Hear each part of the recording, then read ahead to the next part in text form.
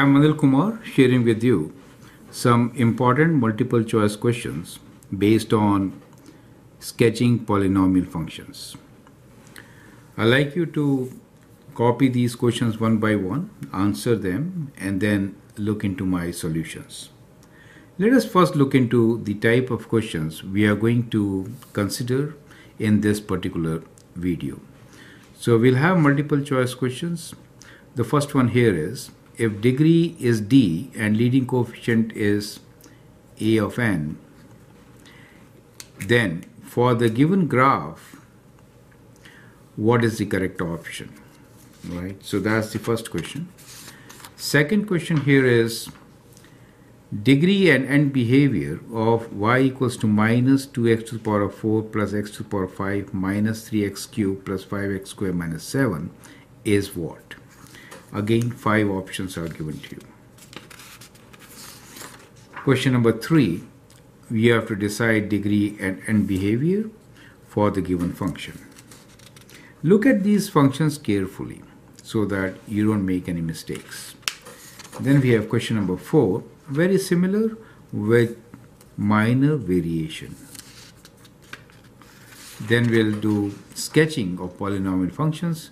Here is a very simple function to sketch and then we'll add some complications to the polynomial function and then learn, rather master the technique of sketching any polynomial. Perfect. So that's the whole idea. Now let us solve these questions one by one. Question number one. Degree D and leading coefficient an is what for this particular graph? Now here what you notice is that right side is up, right? So this right side is up. So that gives you leading coefficient as positive. So first rule is right side up. That implies that the leading coefficient is greater than 0. Now second, both are facing the same sides, right? Both ends are facing up, right? So both same side, that is end behavior. Both ends face up. This means that it is even degree. So the option A is the correct option. Even degree function, both sides will be face will be facing either up or down. Now since right side is up, both are up, right? So it's A. Question number two. Degree and end behavior of y equals to minus 2x to the power of 4 plus x to the power of 5 minus 3x cubed plus 5x squared minus 7 is. Now whenever you're looking into degree, you have to look for highest exponent.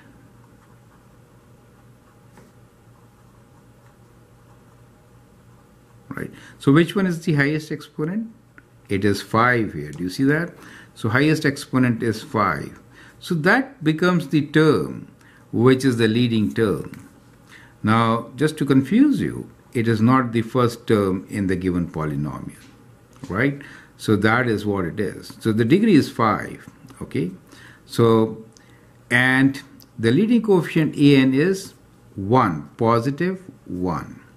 Now positive 1 means that right side is up, right?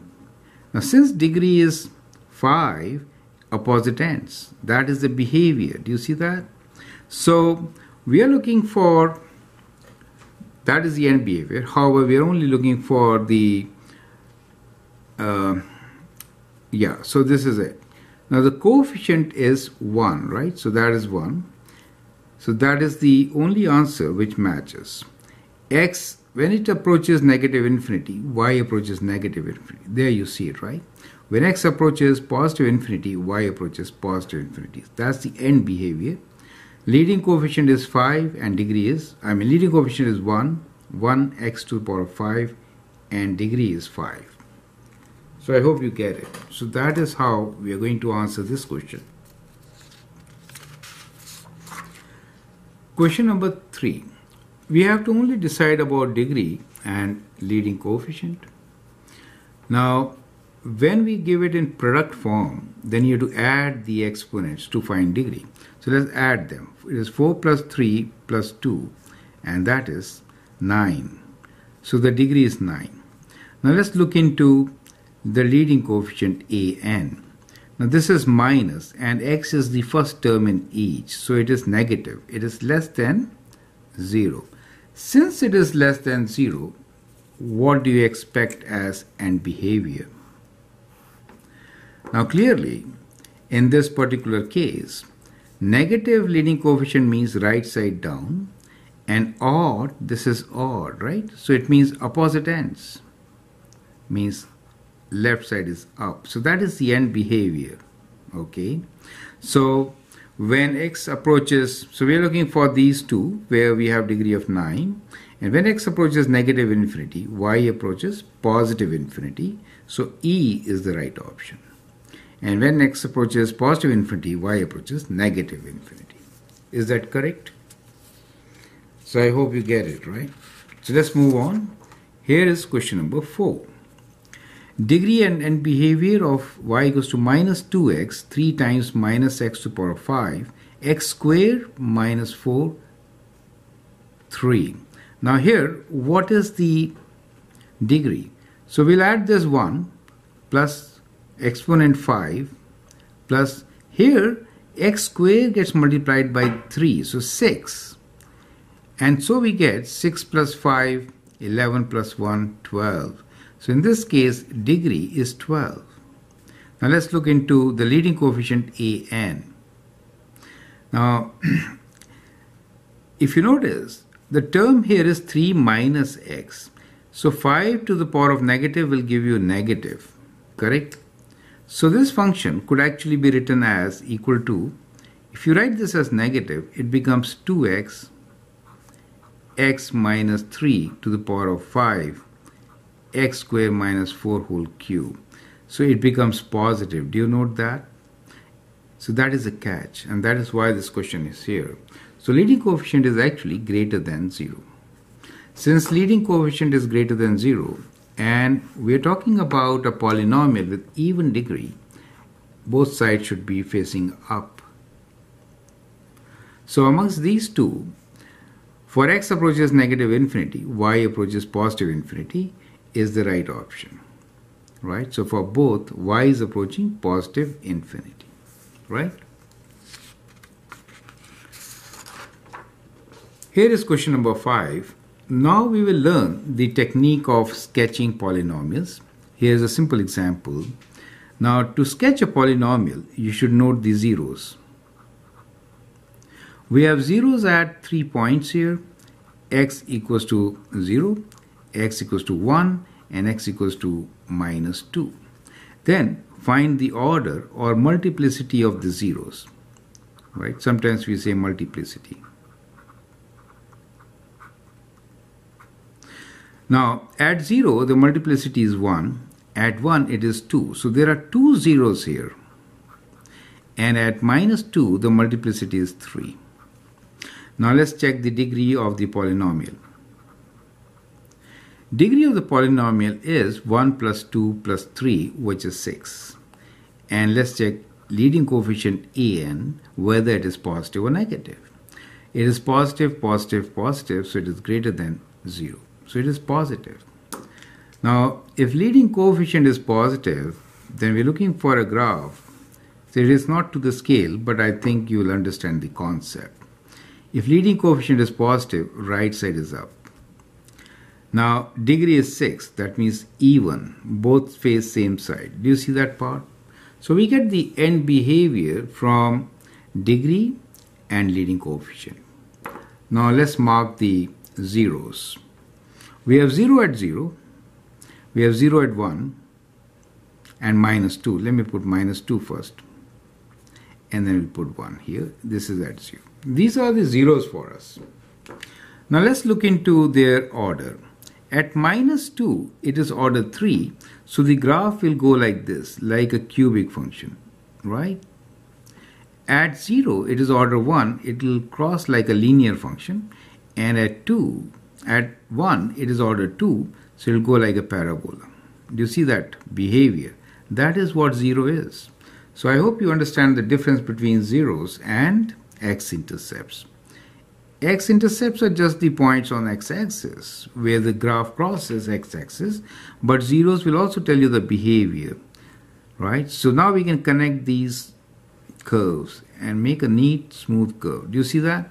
That is how you could sketch your polynomial function. Is that clear? Now in this case, the y-intercept is also 0, right?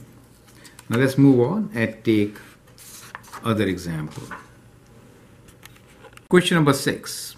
Sketch graph of y equals to minus 2 times x square minus 1 whole square times x plus 2 to the power of 5. Now it's a good idea to rewrite this equation. You could write this as y equals to minus 2 factor x square minus 1. So we get x plus 1 times x minus 1 and both should be squared. You see that part? Both should be squared. And we have x plus 2 to the power of 5. So this is the equation which should be graphed. Now from here we can now write down what degrees. Add them up 5 plus 2 7 plus 2 9 degrees 9 and leading coefficient an is greater than or less than. It is minus 2 times something but it's negative right? So it is less than 0 now that gives you the end behavior that is to say that the graph of the polynomial will be right side down since leading coefficient is negative. Odd degree means opposite ends. Do you see that? So opposite ends right down. So first look into right down then go to the opposite end. Okay. So that is going to be the end behavior of the given polynomial. Now let's write down the zeros. Zeros are at x equals to minus 1, plus 1 and minus 2. Multiplicity. At minus 1 we have two zeros. So multiplicity is 2. At 1 also we have two zeros and at minus 2 we have 5 zeros. So the order of multiplicity is 5. Zeros give you behavior near the x-intercept. So let's mark the zeros first. So we have at minus 2, let's say this is minus 2, at minus 1 and at plus 1. So these are the zeros. Since the behavior is from quadrant 2 to quadrant 4 we'll begin here. Now at minus 2 order is 5 so it will go like a odd function. At minus 1 order is 2 so it will turn. Then at minus 1 also it is order 2 it will again turn. Joining these points we get the graph of our polynomial right so it is kind of like this And this. Now, there you go. What you can also do is find the y-intercept, that is the value of function at x equals to 0. So y is equals to, substitute 0 here, minus 2 times 1 square times minus 1 square times 2 to the power of 5. Is it okay? So 2 to the power of 5 is 32 times 2, 64. So we get minus 64. So this point is minus 64. So that is how we get accurate graph when you draw to the scale, it will be perfectly fine. But it should be a smooth curve as shown here. Question number 7. I would like you to pause the video now, sketch this function, and then look into my suggestions. Okay, so here I'm just sketching our coordinate axis. Now we'll talk about degrees and leading coefficient. Now what is the degree of this function? Add the exponents 3 plus 2 5 plus 1 6. How about leading coefficient? an. You will notice that we have 2 minus x whole cube. That means x minus 2 with a negative, right? So we could write this as negative half x plus 3 times x minus 1 whole square times x minus 2 cube. Now this is a very critical step. You see leading coefficient is not positive as it looks like, but it is less than 0. Since the leading coefficient is negative, right side is down. And because the degree is even, both are down. Do you see that? That is very important to notice. Now, let's plot the zeros with their multiplicity. We have three zeros here. One is at minus 3, the other one is at 1, and then we have at 2. Let's write down their order. At minus 3, order is 1. At 1, it is of order 2. And at 2, it is of order 3. So, first 0 on the left side is at minus 3. Let's say minus 3. Then we have 1 and at 2. Okay. Now, at minus 3 is a linear 0. This one is linear. So, it will go like a line. Here, we have order 2, so it will turn like a parabola. And order 3 means it will go like a cubic function. Do you see that? So you could actually connect these points and sketch your graph. That's how it comes. Now the most important point left here is the y-intercept. Look for this point. Substitute x equals to 0 and find y-intercept. So find y-intercept. So if I substitute 0, I get y-intercept as minus half times 3 times 1 square times 2 cube. So that gives you a value of minus half times 2 cube is 8, right? 8 times 3 is 24. So we basically, oh, this is minus 2, sorry. This is negative 2, right? So we get positive. Negative and negative makes it positive. So it's correct. So it is plus 12. Do you see that? So that is how we get our graph. So I hope all the steps are absolutely clear. And these seven examples which we have taken help you to understand exactly how to sketch polynomial functions. I'd like you to go through some of my videos for which I have provided you a link here. Feel free to write your comments, share your views, and if you like and subscribe to my videos, that'd be great. Thanks for watching and all the best.